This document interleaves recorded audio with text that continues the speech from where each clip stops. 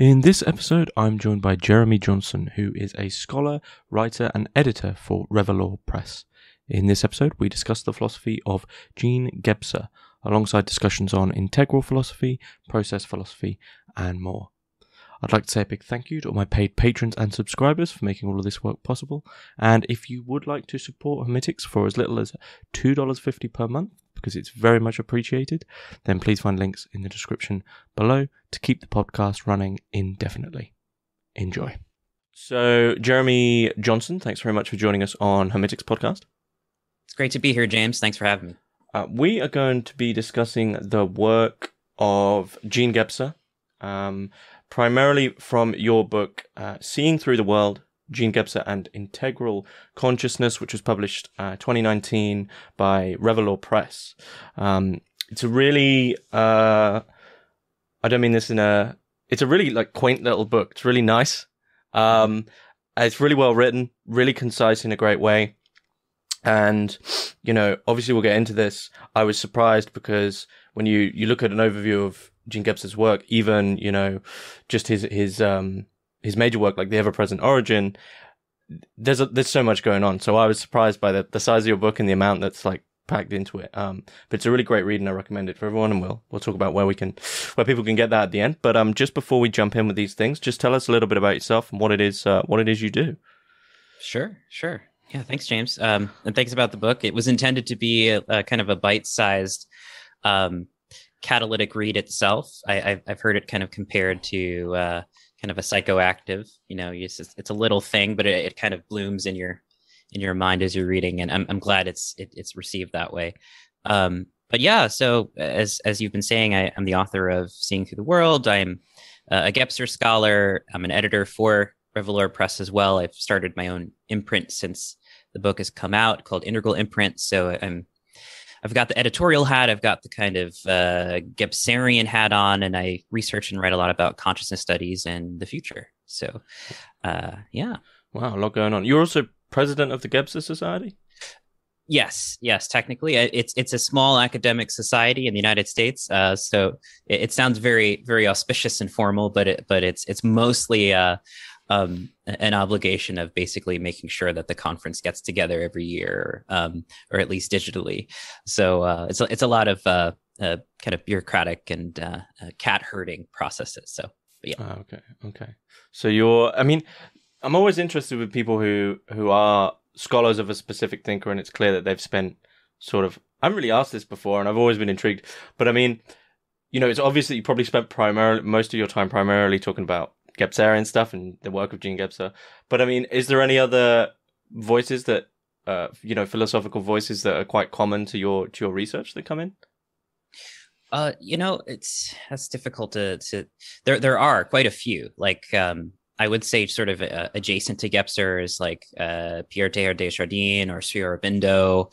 There's a lot of uh, transpersonal history literature, so kind of the the countercultural figures and in the 1960s and 70s, like Michael Murphy and Esalen, and there's some religious studies in there, just in terms of that context. Uh, but for me, yeah, I think it's it's a bit wide ranging when you move on from there because uh, there's Deleuze, of course, there's Bergson, right?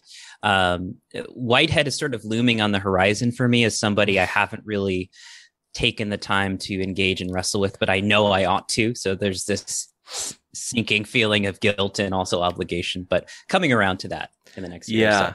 What I mean, I did an episode episode on Whitehead recently, and it, it's I sort of was like, I can't go too, I can't go too far here. This is a rabbit hole, which I don't want to. yeah. You know, you look at it from afar and you think, I've seen, I've not in a, I don't mean this in derogatory way, but I've seen Whitehead people, and they're like, yeah, they're they're on it, right? They're, they're, any chance they get to mention Whitehead is always there. So I think, oh, it's a rabbit hole. I have to be careful.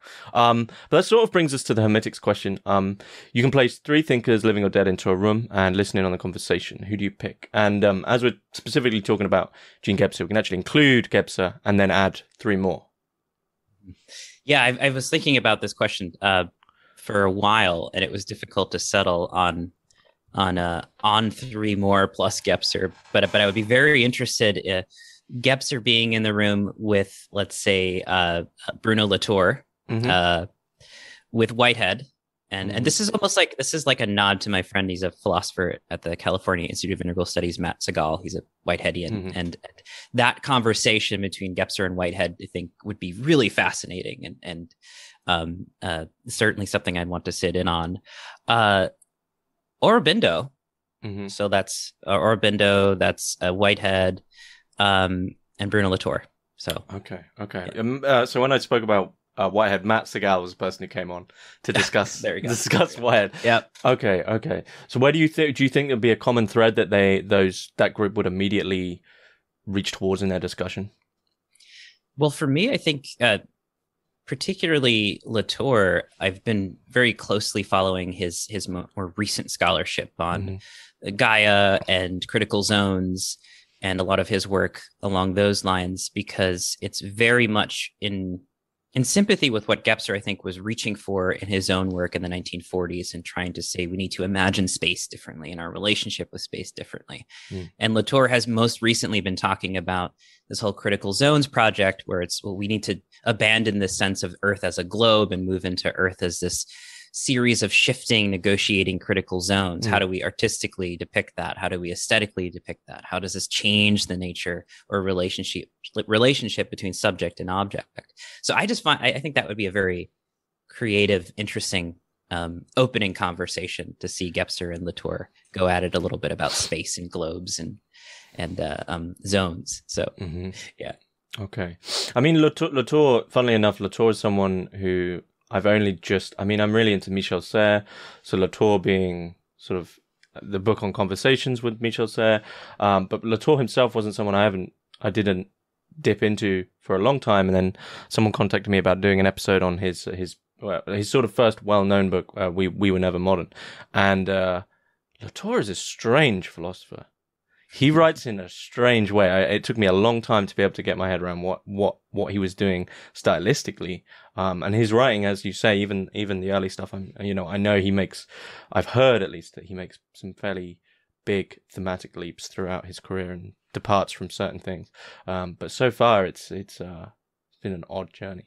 Um, do you think there'd be any major disagreements in the room?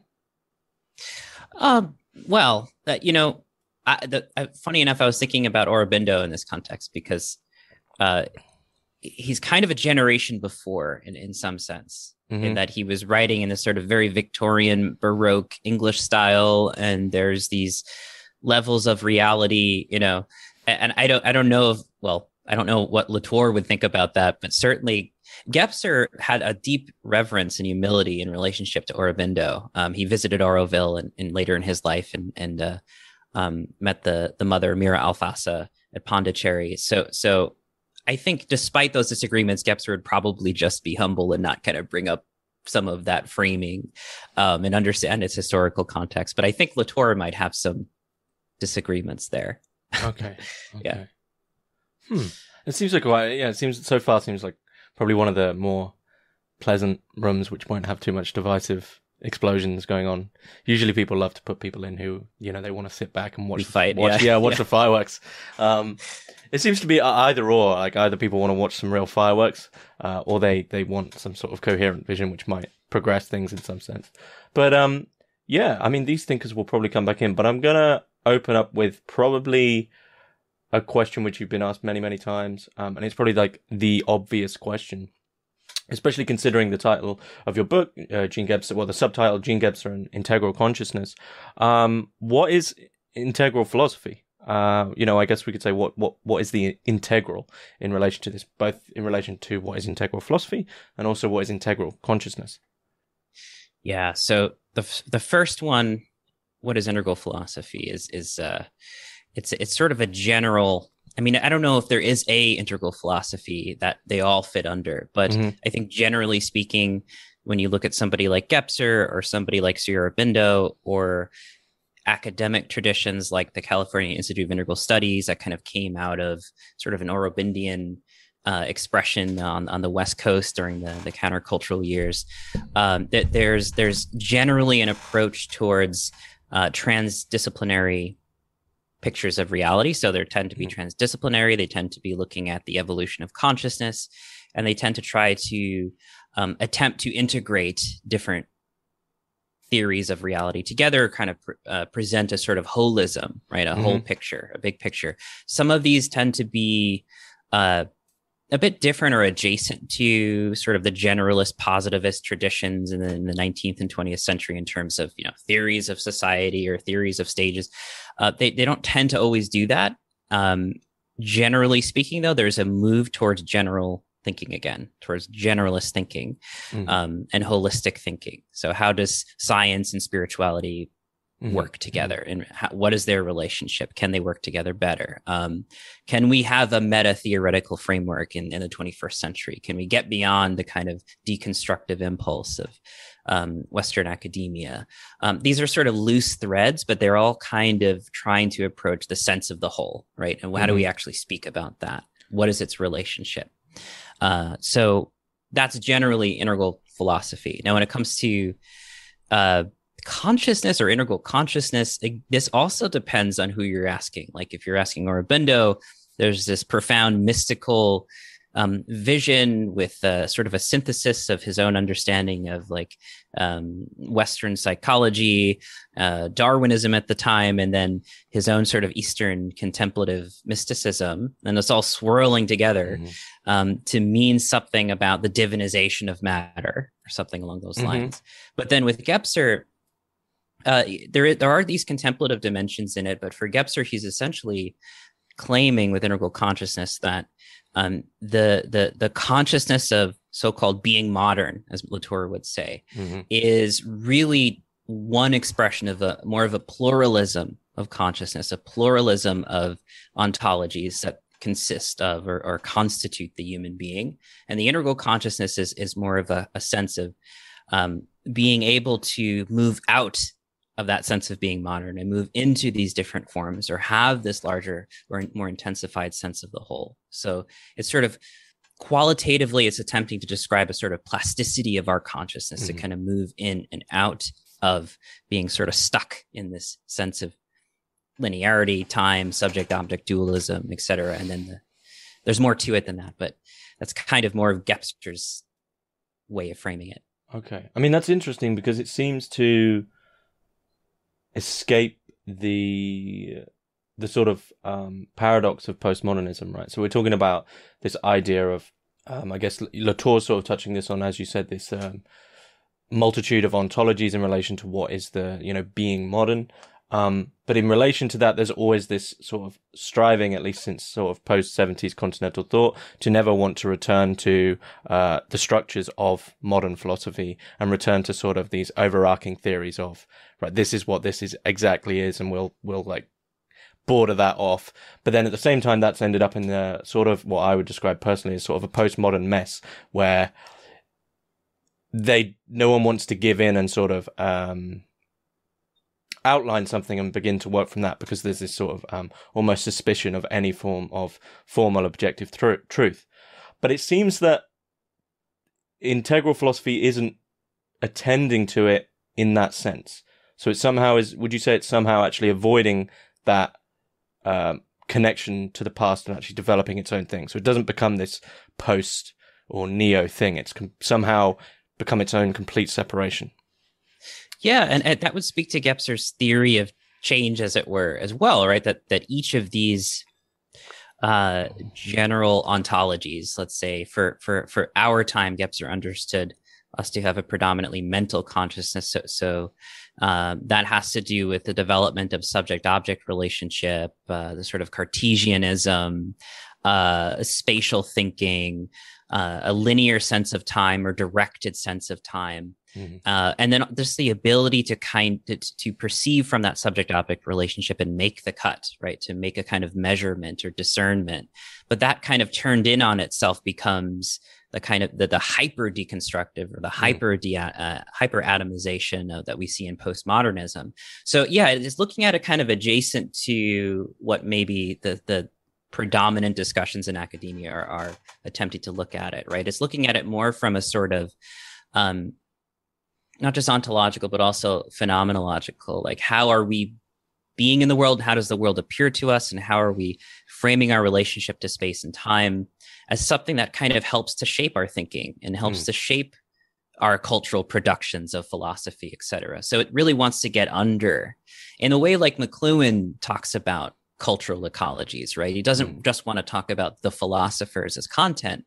Uh, uh, he, he wants to talk about the frames that they're in. Like, okay, well, philosophy and print culture versus philosophy and let's say, oral scribal culture might be very different, right? Their senses of the of the world are different. They have a different relationship and context. So Gebser is kind of looking at it that way, like how how is the culture that we're swimming in actually helping to shape the content of our ideas, framing of the world, etc. So yeah, it's a little adjacent. It's a mm. little adjacent, but I would say um, it.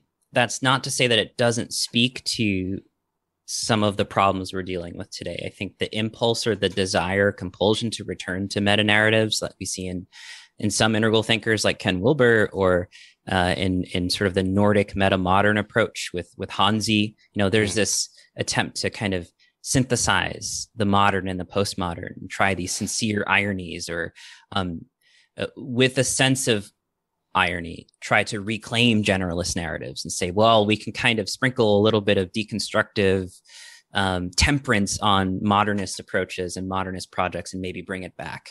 Mm. Uh, Gebser is really not interested in doing doing that either. Um, it's not about just the synthesis of ideas, but this is something that cuts deeper into us, right? It, it, it, it it's striking some kind of again, this goes into consciousness studies and phenomenology, in the sense of um, what is our mode of being in the world and how is that undergoing some kind of mutation or, or, or, mm. or structural transformation I mean, that's that's one of the, it's one of the sort of predominant problems of post-structuralism, postmodernism, all those lovely movements which often overlap and cause many headaches. Is that as soon as you begin this process of deconstruction, or you know the the, the critique of structures, the the content and qualitative experience of them is then abstracted as some sort of um, artifact which is just to be studied, as opposed to the actual inherent experience of that quality itself, right? It's no longer actually lived. Uh, it's taken as like it's taken from afar, almost as if they've got this sort of uh, scientific lab, and everything's sort of an experiment to be put in. You, instead of looking at the thing itself, you look at the structure and you look at the the overarching meta, uh, you know, scaffolding of it, as opposed to saying, well, what what is this if it's lived? And I mean, this seemed to be a big a big part when reading your book of of Gebser is he never he doesn't avoid, as you've said already, he doesn't avoid the fact that you can't. Well, you can't avoid the fact that the philosophies you're talking about are imminently in the process that you're talking about and are being lived. You can't suddenly just take them out and begin to assess them in that sense. Exactly, exactly, and and that's part of the the challenge. I think uh, is we have to do this sort of adjacent move that uh, that Latour talks about in the Critical Zones uh, book he came out with a few years ago. Uh, and, and generally, this project of, of really becoming aware, rendering transparent what we are doing presently and how the structure of thinking is being shaped presently by mm-hmm. these underlying ontological as he says, these structures of consciousness, Gebser says. Um, and, and, I like Latour's recent example. Uh, he was giving a lecture sort of talking about the, the oddities of, of the modern in the sense that, you know, the way we look at objects is we, we attempt to kind of arrest or freeze them and then observe them in this sort of static state when objects are, are, are temporal. They're, they're in this dynamic interrelationship with things. And, and to, to be modern then and to make this perspectival framing to observe something, whether it's measurement or artwork, is this odd kind of arrest. And mm. j- just the way we can, if can we begin to look at the way we see and be aware of that and render that transparent. I mean, this this is really what Gebser is kind of getting at. Can we render our thinking and perception transparent? into how we're shaping and participating in the shaping of the world. If we can kind of get out of it, if we can kind of defixate or make it strange or weird it mm. from another angle, that that sort of helps loosen um, uh, the, the, the problems here in terms of imagining different modes of being in the world. And for Gebser, I think that was his maybe his creative uh, genius that that that he was sensitive enough maybe to the history of these these transformations, these ontological leaps that has occurred across across time and space in terms of he has these different structures. I've mentioned the mental, but the, he also describes the mythical and, and and and the magical and the archaic as these discontinuous leaps into new modes of being, and uh, there, there, there requires, I think, a, a certain uh, aesthetic and poetic sensibility to to an approach in order to really kind of get into that, to really step out of ourselves in that way. Mm. But uh, yeah. Okay, I mean, I have a big sort of, uh, sort of, I guess, like an academic question, which would be that it seems what you're describing there in the sense of as soon as you say we need to look at the way we're seeing, I immediately think of Kant, right? This uh, critique of the conditions of our experience. Um, in what sense does Gebser differentiate from the, the, the you know the the Kantian critique of uh, representation? Mm, mm. I think for Gebser, it, it, there's this understanding. I mean, he was not really following the philosophical tradition. He was an academic in the sense that he was um, transdisciplinary and sort of self-taught. He didn't actually go in, into a hmm. philosophy mm. department talk about this, so he's not exactly speaking to that. But um, I, I, would say that for Gebser, these these modes of being and perceiving are a spiritual process and a participatory process that uh, when we see things in their representation, we're not we're not seeing mere representation. This is only mm. applicable to the mental structure. This is only applicable mm. to the the framing that the mental structure sees itself in the world and is able to make sense of the world. So so I think he would probably question that. Like, what do we mean by representation? Isn't representation more of a a kind of a mental thing, right? Like sort of the world and its appearances and the and the concepts, right? But but it, there's something deeper than that. There's a there's a there's a way in which we're participating in the world that is much more enmeshed and entangled. Um, that's sort of that's sort of me sidestepping that question a little bit, but but because I think Gebser doesn't really want to look at it like that. He really yeah, wants yeah, to yeah. keep the the well, know how are we how does philosophy and the problems of philosophy really stick to this realm of of the conceptual and the and and the mental and there are other modes of participating like the gut right um, which is already if we look at you know magical practices etc um, then there's already a whole different set of relationships there that may may or may not apply to the way kant frames mm. representation you know? So i mean you've you've mentioned the the magic the mysticism as this sort of uh, key part of his philosophy. Was was gebser of any strict religion or, or mystical tradition? He wasn't which is the interesting thing. He's one of those interesting figures who uh, essentially kind of came to mysticism spontaneously as, for whatever various reasons uh, or spiritual reasons we might say. Um, he was certainly in the Christian tradition in the sense of being from Europe and and and having that maybe speak to him to some mm-hmm. degree. I think there's some really interesting uh, theological commentary throughout his writing, particularly in the ever present origin of a kind of integral diaphanous Christianity. And that comes up in poetic statements. But um, no, he didn't have a, a, a tradition or a practice. He seemed to arrive at it in, in a series of different biographical experiences. Um, he had an early experience in Spain. Uh, and, and they, they depending on who you're reading, like like Aaron Cheak's work, uh, he has a great philosophical biography on on Gebser online, uh, which I think he's developing into a, a, book as well. And and there's certainly some alignment there with with uh, in Buddhism they call turiya, the sense mm-hmm. of uh, transparency or a sort of fourth consciousness that's not waking or dreaming, um, or deep sleep.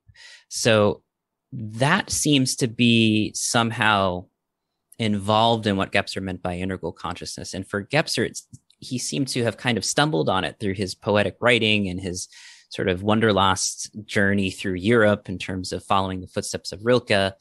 Um, but yeah, yeah, no, no explicit, and that's to the hmm. frustration of, of some of my students too, because hmm. they go like, "Where's what is Gebser's practice then to work with time and transparency and diaphaneity?" It's in there in a kind of implicit sense, but it's not really explicit. I would say that I would say that's to the benefit though, right? Because I've often um in discussing people who let's say don't adhere to some strict tradition, sometimes when they do reference small things, and it's probably thankful that he doesn't, people can begin to go, "Oh, so it's he's talking about this So then it's not allowed to become its actually its own thing, right? Say, oh, it's so he's mentioning the Buddhist thing, so it's like that. And you go, well, but he, why don't why not just stick with what they've written, right, instead of uh, that cross comparative thing? But I, I, you know, I just think that would be if there was such a thing there, then that couldn't be avoided. But as there isn't, it sort of makes it um, more interesting. But I mean, that that brings a question, and I'm trying not to mention a specific name because my listeners are just going to get frustrated. So I'm going to avoid they'll know who I'm on about, but I'm going to avoid mentioning a specific name. Um, but for for Gebser, then is is there, as you mentioned, this Buddhist fourth consciousness or fourth fourth uh, dimension, and this waking or or deep sleep, sleep, waking sleep, etc. Is there is there sort of levels of existence and being for Gebser?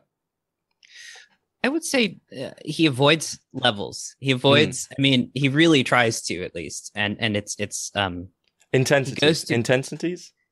Sure, uh, sure, yeah, yeah. Um, uh, he goes to great lengths to create these qualifiers like that. Like, well, I'm not talking about stages. Uh, I'm not talking about the expansion of consciousness or the heightening of consciousness, but the intensification. Mm. He's trying to move away from that kind of uh, spatial thinking in his own framing, which which is laudable, eh, but it can be frustrating because you kind of have to sidestep so many things and be careful. But anyway, um, in that sense, right? In the sense that there is a wholeness to things, and he mm. calls it. He's very elusive about it. He says the sup, uh, the suprapersonal the itself, and he, he, he points to Meister Eckhart, the itself. And he says, you know, adjacent to the phenomena of material history and and the kind of the the sense of being incarnate, I guess there is this spiritual dimension or the spiritual so mm-hmm. he's very, again, cryptic about what he means by that, but he also uses the word origin, obviously, in, in that sense. But for Gebser, that's more of, um, I, I think it, it is a contemplative uh, description, something he is having insight with or experience of that the, the world is brought into being with this intensified spiritual awareness right mm-hmm. phenomena comes into being is transparent to their their origin and creatively brought forth through that origin and returns to it in that sense too. So again, phenomena rising and falling in this transparency. That's really how Gebser's trying to. He's kind of coming up with his own contemplative language in order to describe this, um, which again is very similar to many different contemplative traditions mm-hmm. describing this process. But that's as close as you get for Gebser for like, is mm-hmm. there a greater reality? Is there some spiritual reality that that that Gebser sees like yes, and it's also immanent to mm. everything mm. And free from that imminence at the same time. Uh, which you know you brought up. Okay, that's that's uh, that's a struggle because it's clear then that there isn't this. If if you're not talking on the, the the type of sort of levels which can does try to avoid, but really they are there from the human point of view, right? There isn't transcendence for Gebser, but it is imminent. So how does the imminence avoid its own imminence? mm. as you said. Mm. Right. Well, I think for Gebser, it's it's it's neither. I mean, we might even want to move away. Like I, I like the word immanence. I, I think mm. I think it it speaks well to what he's describing. But um, there's that that tricky problem of you know this mode of consciousness being free from the world. So yeah. So so how do we frame that being free free from? uh, free from and free for the world? And I don't know. I don't necessarily have a good answer for that. Okay. Uh, but it, but it seems that that it's neither above or neither merely imminent in the in the material sense of like okay it's the physical cosmos that's that's what he's talking about um it's it's it's it's looking for a kind of language that maybe we haven't as human beings articulated quite well uh, it's between that relationship somehow Okay. Um, that sense of the whole, and you you could make immanent and transcendent forms, you know, uh, but but for Gebser, it's it's it permeates everything. It's that sense of transparency. Okay, okay. I mean, this actually does tie back to Latour, especially in his influence from Serres, and it seems that for Gebser, then there is this problem of perhaps he doesn't. I don't remember it specifically from your book, and from from the various other things I watch uh, and and read, but there doesn't seem to be a specific problem of language, but there is an inherent understanding that there is a problem of language because that immediately immediately takes us into a certain realm of understanding, which itself is somewhat separate from the ontology and the the lived philosophy that Gebser himself is actually trying to explain. Right? And this is, you know, Latour and Serres, uh, in very practical senses, not as um, I don't mean this in a derogatory way, but grandiose as Gebser. You know, Serres would say, well, how can you, in language, explain the taste of a meal, for instance. You know, that's mm-hmm. an experiential, almost ontological experience, which as soon as you begin to write about it, you reduce it, as we've been talking about, onto a sort of, well, that isn't, at, they're, they're not the same thing at all, and they never mm-hmm. can be. And it, do you think that's the, uh, an immediate problem um, in Gebserian philosophy that as soon as there is this mode of articulation, then we are stuck with, well, I mean immanence, but I don't mean immanence. And we're, t- mm-hmm. we're sort of talking about levels, but we're not talking about levels. And as soon as you do that, you you're no longer actually living it. Mm-hmm. You know, it's mm-hmm. actually it's a philosophy which is meant to be in itself almost ontological of being in a way. Yeah, yeah, yeah. I, I, I like the way you're describing that. I, I, think I think so. I think so. And, and Gebser brings that up. It's it's it's really kind of laced around all of his writing that oh um, that okay, we can't really say it, you know, or. When I say supersede, you know, he'll add like quotes around it mm. because mm. it's like I'm using a metaphor of transcending, but I can't really like I, am almost he's almost meta modern in that sense that he's like ironically using these spatial metaphors knowing that they're limited um, but that also becomes a very interesting preoccupation for him and and this question of well can can language um, uh, in some sense approximate uh, or or impart that ontology mm. now his his his commentary on language throughout all of his writing is really interesting because okay. you think to some I apologize degree, for my ignorance there. No, no, no, not at all. But, there's there's there's there's a sense in which um, we can trace uh, etymologically the roots of words and and you know at least in Gebser's reading of etymology you can kind of see the mythical more at work in earlier language than you do in in later um, in terms of uh, in terms of the ger- the original German, but for us as well in English. So so you, maybe there's more ambiguity and polarity, and then later on a word means one thing or another thing, right? There's more kind of dualism and abstraction in later language. So in some ways, our language can, um, to some capacity, impart mm. what it is, what we as beings are embodying and experiencing. Um, it, without the language necessarily. So, so there's that. But then in in his work, he's also very preoccupied with, well, what are the new concepts? Can can language incorporate or leave room for or leave gaps to allow in this fourth dimension or this time dimension that he's talking about the sense of transparency can language become more like that mm. can our can philosophy become um uh, um, suffused by time and temporics and not the mere conceptual, right? Not the mere static conceptual. Can concepts themselves become more like that aliveness of human experience? So I think he was being a poet first and foremost. Mm-hmm. He was probably like, oh, absolutely, language can do it. Um, in terms of like a work of art, right? That is multidimensional and can impart quite a bit in in the engagement with that art. I think he saw language as uh, performing a similar role, although albeit very challenging when it comes to can philosophy do this? Can meta theories do this? Can concepts become more time infused? I think that was the question he had, but I, I don't know if he necessarily resolved it. Um, and I think we're still struggling with that as, as we see, even like in our ability to try to communicate this right now. Um, but that's again why I would probably want him and Whitehead to sit in a room together and be like, well, here's a guy who's all about process and, and reality. So please have this conversation and see if we can actually do it. Hmm.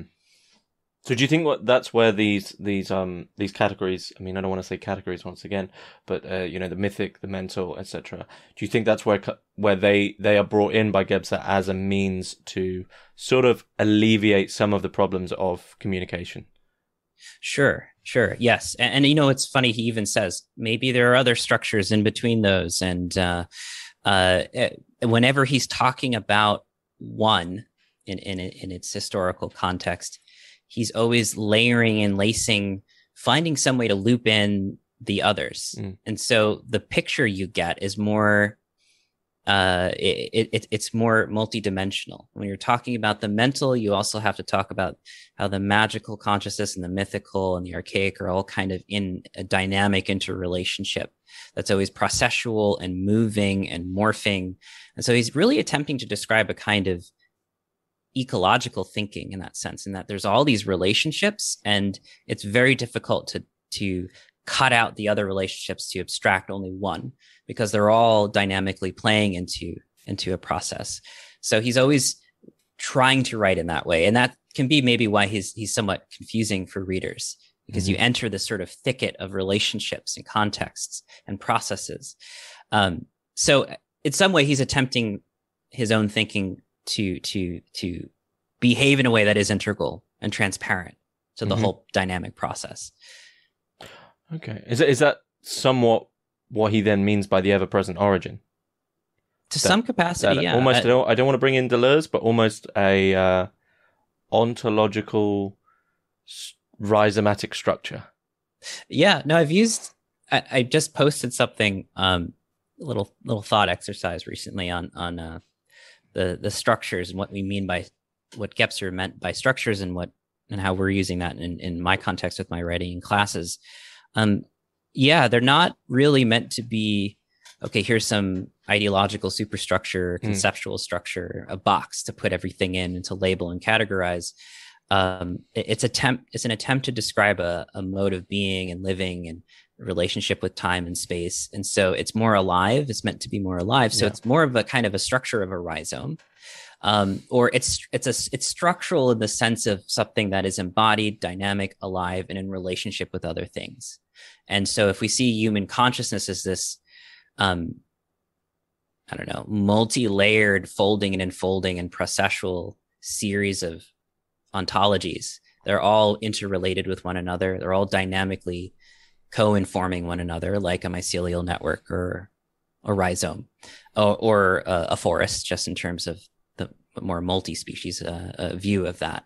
And so I think that's really where Gebser's trying to go with his thinking. That the structures do look more like that rhizome, uh, and they are all interrelated at all times. So so when you enter into any one structure, you're really in a relationship always already with all the others.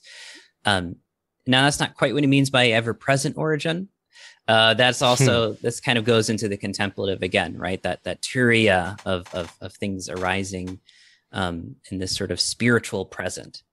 Uh, but for Gebser, it's like they don't they're not they're not dissonant. Like the, to be able to become sufficiently present in that spiritual capacity to to allow the the sense of the whole to to really come to the forefront right mm-hmm. cultivating transparency is a spiritual practice but also a practice of intensifying our consciousness so that um, in our experience of time and in, in somewhat in the linear sense of there being a deep past and a history of consciousness and also a sense of maybe the future as well in the present both for Gebser anyway, are, are transparent to one another and co-informing the present and co-shaping the present and that's the kind of intensification he's he's attempting to speak to. Hmm. Okay, I'm going to throw out quite an abstract question because this this is the the overlap that that I sort of adore in philosophy with Serres and Gurdjieff and others. Do you think, in a Gebserian sense, that you you not in a Gebserian sense, do you think it would be possible from his writings to develop a Gebserian form of development, a practical system or a practical system of mysticism in relation to Gebser's mm. philosophy. I do. I do think that. I, I, it hasn't been done yet, but I do think it can be done because there's enough.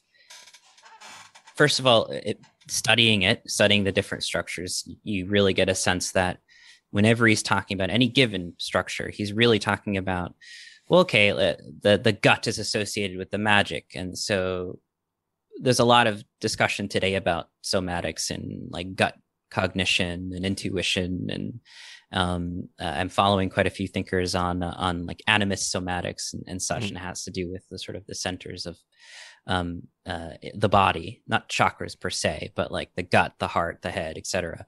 So there's Mhm. this sort of embodied set of practices readily like immediately available in terms of investigating that like if we really want to investigate the magic um, and what i've been saying is uh, implicit in, in in gebser's writing is this sense that um, he doesn't give you techniques but he's he sort of suggests like well what we really need to do is sort of dix- defixate from the mental consciousness right to move out of Mhm. this sort of fixation on abstraction and dissociation from from these earlier structures and kind of come, go back into them and Mm. and and bring them back into a concrete relationship. What he means by that is sort of like the, the the magical consciousness is not just an abstract layer of history. It's like it's dynamically alive. It's in our body. There's ways we can kind of come in contact with it um, and and develop a, a, a more healthy and active relationship with this. Mm. and same with the mythic. So in really in some ways he's saying reconnect with those concretize them in yourself and then have this ability to sort of not become subsumed necessarily by them either because that's the other danger right that Mhm. that what we have dissociated from as moderns might really want to come Back. Like roaring back Mm. and, and subsume us like like jung talked about right the depths kind of coming up how he had to do the red book process or to, in order to kind of keep himself afloat from being consumed by these Mm. psychical intensities i think gebser would probably have a similar recommendation right that there needs to be the sense of equanimity as you are exploring these different ontologies and so but what you get overall from looking at that process is this sense of um, exploring these different dimensions of, of of being these different structures and moving in a sort of plas- with a sort of plasticity in and out of them. And mm-hmm. what emerges in that sense of morphing shifting moving in and out observing how they're dynamically relating to one another there's like that space between them that begins to coalesce. And i think maybe that's the element of grace in the practice but what hopefully emerges is this sense of transparency or this sort of Gebser says a spiritual epiphany of, of, of the diaphanous, right? The Mhm. diaphanous sense of the whole or origin or the spiritual kind of coming to the forefront in relationship with all these different aspects of our being. So there, I think there's quite a profound possibility of a contemplative, set, rigorous set of contemplative practices. And some of them not only involve like the somatics of the body or exploring you know, psychical intensities and and the unconscious right? Sort of a sort of an active imagination process maybe for the mythic but also um concretizing the mental right? Understanding the mental as an embodied ontological structure a being in the world right? Really kind of grokking what it actually is instead of taking it as the default channel uh, and, and so that kind of plasticity, movement between the structures, and then the emergent sense of the whole. Th- there's there's a there's a practice in there, Mhm. um, and then again at the at the center of that is this sort of equanimous approach where uh, you really want to live at all of these dimensions, not merely abstract them, but also not be subsumed by them, and that requires that's difficult. That's really difficult. Mhm. So Okay. I mean, I'm interested in this in this idea of the gut in relation to magic, and what I'd say is, it seems that I mean, there's a lot going on. As we said at the start, it's always tough because you can relate it to all these other mystical traditions, and Mhm. um, I don't want to tie Gebser in with the actual perennial tradition, but that idea of a sort of continual, quote unquote, wisdom or current, which is there, which people throughout certain times have then developed into their own thing. So, and I think my, my speaking personally, that's why people often notice similarities is because there may very well be something which is just in time, which is this uh, recurrent or concurrent. Uh, once again, the problem of language, truth, Mhm. if you want to want to do it, and people sort of uh, intensify and develop it in their own ways. But this this thing of the the gut in relation to the mental, and also I guess as you said in relation to like the centers, in relation to the emotional, it seems that this problem of embodiment seems to be one of the primary problems of much contemporary philosophy as to why they, they, they can't really get anywhere is this this sort of continual emphasis on the um, sovereignty of the head, as if that could solve absolutely everything. Mm-hmm. Um, and and anything worth its weight is anything valuable must be a conclusion of of the mind of the intellect. And it seems that you know just recent something recently I've been reading the the emotions and the and the mind they have a relationship with time which the body doesn't right? The emotions and the mind they can go off into the future that's where they usually are or they usually you know and the emotions are usually in the past etc but the the body and embodiment doesn't have this option. It's, if you're conscious of your body it's always present. I'm trying not to get too new eh, new agey here but in this sense of the fact you were talking about the idea of the mental becoming embodied is that in sort of a Gebserian way the idea of uh, removing the mental from various uh, fantasies in, that it's having in time and bringing it back to the what it should actually be living now. Mm, mm. Sure. Yes.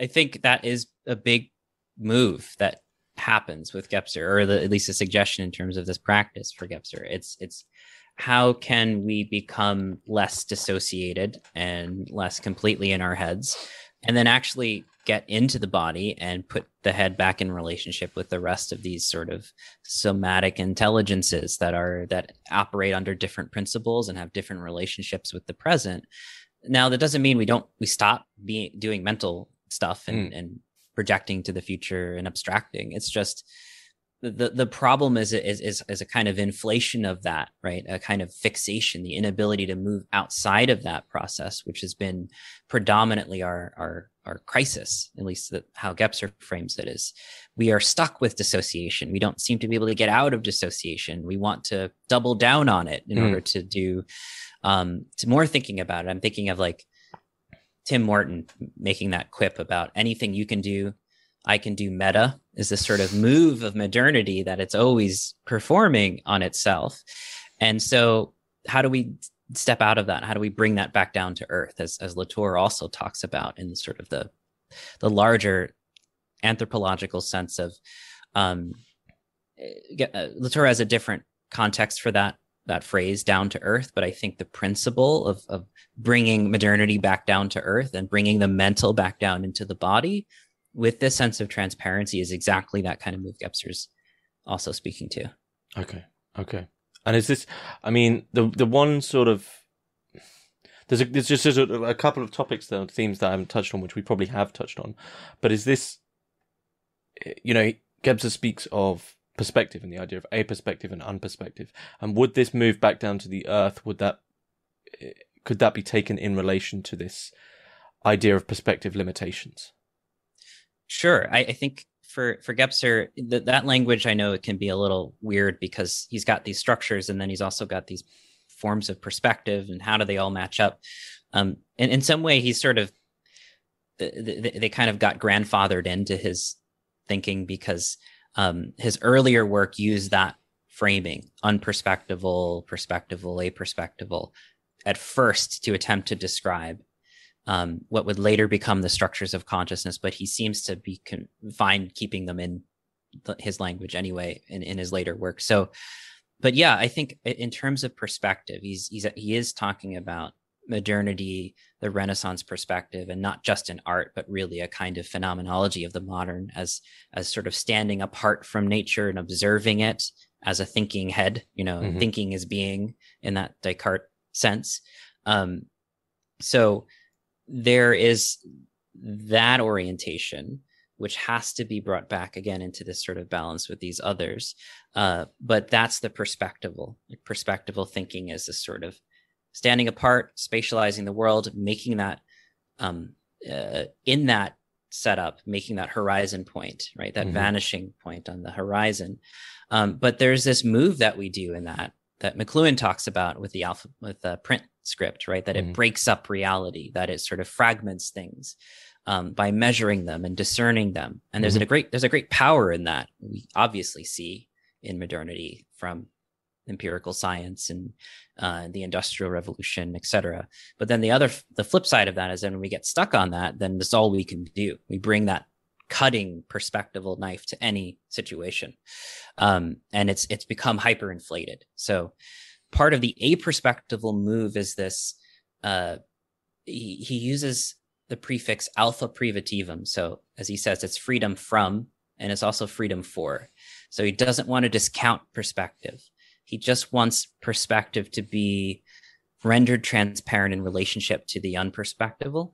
Mm-hmm. And then with the aperspectival, again, this this freedom from, freedom for, the sense of transparency is you could still do that. You could still enter the perspectival world and perspectival thinking and make that cut, but it's it's now in um, may, maybe because the sense of the whole has greater um, say, it's now in a better relationship. It's not as inflated. It's not as fixated. So yeah, and, and and part of that is also the sense that the unperspectival is has equally valid modes of being in the world. And I think in conceptual ways, contemporary science might uh, science uh, humanities might be getting into this with like uh, the resurg- resurgence of interest in animism and and panpsychism and and um, object oriented ontology being another kind of thing where they're you know that that subject object distinction is really kind of becoming blurry or a little entangled or um, a little stranger. So we see that starting to get massaged into our thinking right now or or showing up in our thinking. Um, but gebser is again this is more of a it doesn't stop there. It doesn't just stop with mm. object oriented ontology or interesting philosophies that try to accommodate that. It's it, it's it needs to be this spiritual process as well. Um, does that make sense? Mm-hmm. Just sort of mm-hmm. yeah. the, the, broad picture of the perspectival epochs. Yeah, yeah, yeah. No, definitely. Um, it's always difficult to talk about uh, sort of quote unquote process or as you say integral philosophy because it's you can't just take one thing and then use that as some sort of route and develop from that. But uh, I mean that does that does beg a big question that do you do you think there ever could be such a thing as a, a, an end or a telos or a teleology for Gebser? So uh, Gebser was very adamant that he was not interested in teleology, and yet, and yet, there is this sense in his writing that um, a spiritual process is going on in the world, and that the it's almost as if there's an, a new ground underneath us, this sort of integral, a perspectival reality that everything has to adhere to, right? Mm-hmm. And if it doesn't, then it, it becomes increasingly deficient and and and crisis bound. Mm-hmm. Um, and, and that very much in that sense, he's he's looking at the 20th century as this um, attempt by the perspectival mental world to master the intensities of time and for Gebser, time is this very complicated subject, but it's essentially not just linear time, it's magical timelessness, it's mythical rhythmicity, it's it's sort of this intensity of the whole, of the spiritual whole for him, which sounds confusing. And I know it is. And I, I am trying to search a pro- for a process to kind of discern that a little bit better. Um, because he says, you know, time in its in its actual expression is time freedom, right? Again, it's that alpha privativum. It's that sense of the whole. It's the fourth or fifth dimension, but it's not limited to any of those. So this intensity of time for Gebser is this sort of, I wouldn't exactly call it teleological, but it could be read that way. Whereas this sort of, it wants to be realized in the world, right? It wants to be realized in human consciousness, this consciousness of the whole, this integral ontology.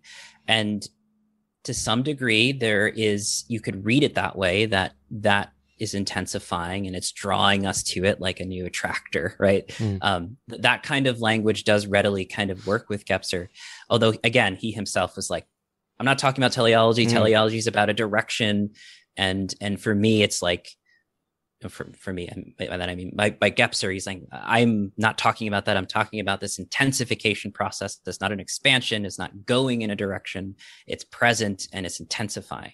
Mm-hmm. So we might be hair splitting, you know, like, yeah. And, and some Gebserians even say that, like, but he, he kind of was talking about a teleological process. So I leave that to readers to, to make their own discernment about you know maybe we can read teleology in that more complicated way because he was after all very um, uh, what do you call it, affirming of, of Teilhard's writing. And Teilhard was extremely teleological in the sense of the omega point, right? And the universe being drawn toward this convergence. And he was saying, hey, that's that's the the Christian Catholic Jesuit approach, but it's talking about the same thing I am talking about. So mm. those those little tensions are in there, and an interpretation could be made for teleology. So very like very roughly, it's not a teleology in, in relation to sort of um, uh, let's say typical philosophy of space and time, but it's teleology. It's like an ontological teleology very yeah, roughly. Yeah, yeah, it's almost like that kind of trippy sense of teleology, like um, like Terence McKenna and his like um, poetic riffs on you know the eschaton or the object at the end of history, drawing us to it. There's this implication that it's not really in linear time, but it's kind of pressing into linear time. It's sort of moving us or drawing us. You could frame it maybe in that way to some degree and and get away with it with Gebser. Get away. Uh, okay. Yeah. Okay. I feel we've covered a lot in a, in a quick, quick, yeah, quick time there. Do you, th- do you think... You're asking good questions. You're going to like the the difficult, really good. Like, the how do we stuff. actually? Is this teleology or is this not teleology? Yeah, uh, just ask for the answers straight away. Mm-hmm. Yeah. Um. Okay. I mean, is is there any key areas of Gebser's thought? I mean, obviously there's going to be, but is there any key, um, I guess, abstract areas which we've which we've sort of criminally overlooked here? uh, maybe just, I mean, I know we were just touching on time, uh, but I think the part of the, a lot of folks like to focus on Gebser's careful attention to the earlier structures, the unperspectival world, the magic and the mythic. Um, and, and for good reason, he's very detailed about them. He uh, has a, a very exhaustive study of them and in such a way that there's so many examples, historical artifacts, uh, works of art, etc. It really kind of brings it to life, and I think that helps readers experience that defixation from the mental that Gebser talks about being so important. Mm-hmm. Uh, but for me, I think the the most important work, and this is partly what I'm developing in my own uh, in the next book, uh, "Fragments of an Integral Futurism," is is the sense of the future and is how integral consciousness has to do with this new relationship with time. But I know we've been talking about eschatons and teleology and time freedom, and, and those sound very kind of beyond us in a way. Like, okay, maybe this is some great spiritual process. But I think the the the applicability for Gebser in the present is much more tangible in that even during his study in 1949 and 1950, when he's talking about integral and time freedom, what he's drawing on um, are just so many, so much. I'm just architecture, music, psychology, biology. He's really looking at the concrete in the way um, it's showing up in our cultural phenomenology. This theme mm-hmm. of t- temporics, this theme of what he says, temporics, transparency, the supersession of dualisms are like the criteria he's really looking at when it comes to um, how it's showing up in culture and i think that's important and it's it's it's work for maybe contemporary gebserians to do in terms of there is a methodology there and then there is a way you can really concretize it for folks and i'll just bring up like one or two examples um, in the contemporary when i when we're talking about time being a theme uh, if the perspectival world is more about the spatialization of reality, measurement, categorization, subject, object, etc., the aperspectival for Gebser does have qualities that are specific to it and unique to it. The integral structure has unique qualities, and that is um, a kind of uh, mutation in our language and understanding and relationship with temporics. It becomes much more fluid, much more processual, much much less linear and more nonlinear. Mm-hmm. But that would mean that's going to show up in our art, in our media, in our, wor- our works of philosophy, in even just as more contemporary academics describe the structure of feeling of our times. And I would say we're all undergoing this intensification of time in the present with the Anthropocene, right? With the COVID lockdown, this um, halting of the hyper productivity of the world for a moment, right? And then watching the entire economy sort of stumble over itself as that happened. Um, and then opening things back up and then shutting them again. So there's this like f- uh, false start, right? This like broken rhythm that we are undergoing collectively at the moment. within this context, this ambient, larger context of the Anthropocene, this looming sense that, okay, our civilization has sort of built itself around momentum, speed, increasing productivity, increasing capital. We sense that directedness of time is about to crash into the realities of the planet. And there is the sense in which the past, just in terms of, um, you know, that history of the industrial revolution and, and capitalism is is sort of haunting us uh, the past actions. This is what Andreas Malm talks about um, in his book, uh, "The Progress of the Storm." Like the, the, the the presence of the past is alive in the in the contemporary climate, the weirdness of climate, right? The warming of climate. Uh, the our ancestors are present there, right? Mm. Our collective activities of fossil fuel extraction and usage. Uh, the sense of the future is also looming for us right now too about what we're doing in the present and how we aren't slowing or or, or carbon uh, curving carbon emissions right? The sense in which like what we're doing has an implication for the future. So in some ways our our future generations are kind of we feel the, their eyes we feel their gaze upon us and how we're not really handling this. So there is this maybe more in a negative or existential angst kind of sense but there is this structure of feeling around time right now mm-hmm. and um you know you know i would probably add a fourth person to that table of discussion it would probably be mcluhan mm-hmm. because i'm thinking of what he said about um the kind of consciousness that we need in electronic media is the sense in which everything we're we are doing in the present um, we need to know everything, like all of the repercussions, all of the reverberations, mm-hmm. in some sense, are always echoing back to us in these these ever shortening feedback loops. Yeah. So we kind of have to move in the context of the planetary in this sort of um, acoustic auditory sense of the past, the present, and the future are always sending reverberations back to us in the present. And that's how we have to navigate complexity and feedback loops and dynamics. We always have to have a sense of the future and the present because it it will ripple back to us. So how do we have a consciousness in which that kind of time is constantly something we're aware of to navigate all of these problems, right?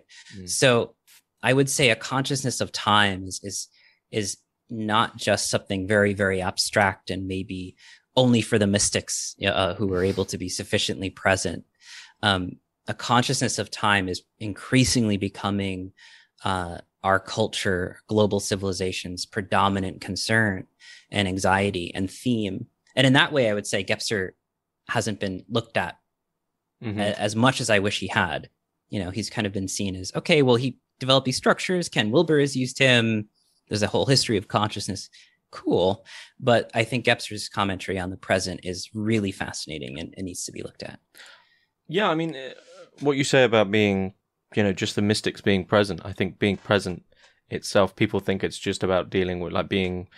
I'm going to say Western mindful, right? Like, you, mm. which is sort of just, you know, it's not the same as actual mindfulness because that that does yeah. have connotations with with an expansive temporality. Western mindfulness of like, oh yeah, of course I'm present. I'm here right now. Like on the mo it's not the moment.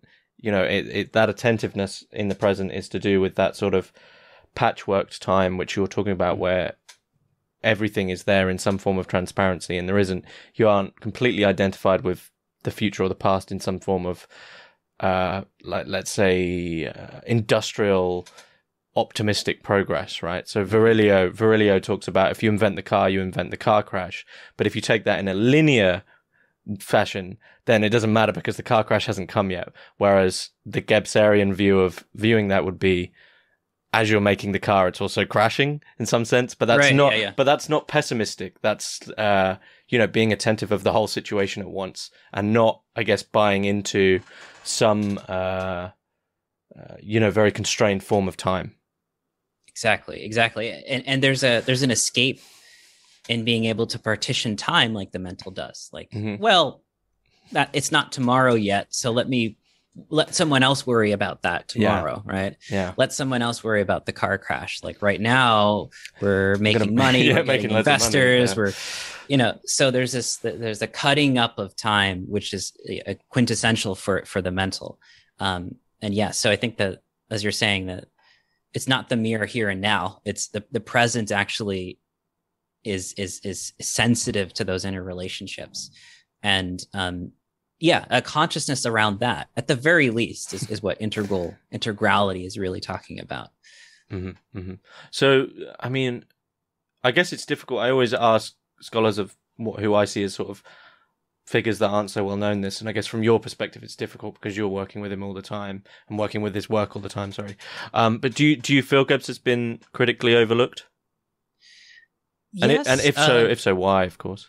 yeah I, I think a few reasons maybe one being he was certainly spiritual Mm. and very poetic uh he did not follow the the he was not part of the tradition of of, of post-structuralist thinking or post-war thinking necessarily so he wasn't in that milieu or embedded in that so um he was kind of adjacent to it uh he's certainly a i mean he's been adapted by comparative civilizations departments and, and things along those lines. So i think that's not really in vogue anyway. Um and then when it comes to even the the the subcultural movements like the like ken wilber with the transpersonal psychology and his integral theory in the 1980s gebser was more of a um, a stepping stone for wilber to create this sort of big theory of everything and, and and he kind of adapts gebser's terminology the different structures into stages in his own framework. So gebser hasn't really had his own moment i think to really shine in that sense. Also it, the another critical problem has been uh, the lack of of english translation and at least in the anglo philosophical world. Um so so there's been some It's the, only, the only philosophical world that matters, apparently. uh, so that those have been some of the challenges and limitations, but um, I I don't know. Maybe maybe that's changing. Um, I, in, in the work that I've been doing with Mm. with publishing my book and and, and speaking with folks, uh, there does seem to be a lot of receptivity. Like, oh yeah, he's putting his finger on something about this time thing that that I already knew, but he's articulating it right. Um, so we'll see about the the future. I think that might be changing. Mhm. Okay, okay. Where would you recommend people to to begin with Gebser? uh, I hate to tout my own book, but it, it was intended to be like a bite-sized version, um, doing my best to to to encapsulate some major beats from the ever-present origin.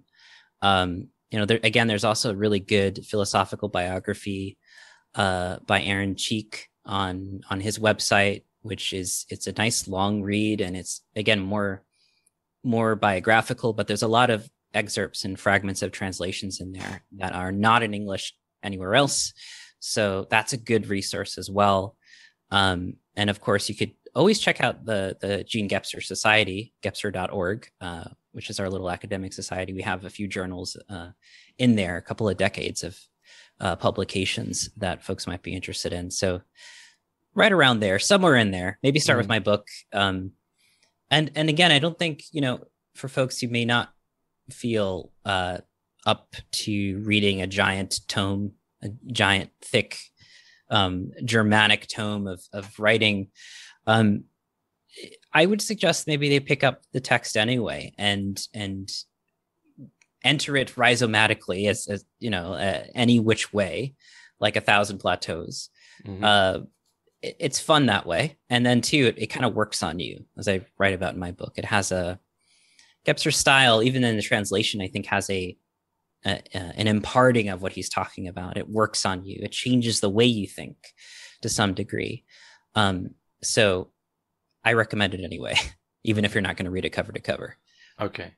And yeah, okay. And your book can be, I'm assuming, can be bought from the, uh, is this, where, uh, Revelore.press, www.revelore.press. Yes. Um, yes. and you, you have your own imprint now there called, integral imprints and you'll probably see it on the the homepage uh lots of books coming down the pipe uh i'll be able to talk about them soon but Mhm. um we've already come out with uh sean kelly's um uh becoming gaia which is a great book it's it's sort of uh, he, he wrote coming home like a over a decade ago now so it's a major update on his own work kind of bringing in gebser and edgar morin and joanna macy and talking about the the climate crisis Mhm. and uh, it's a fantastic work and I think the culmination of many years of study.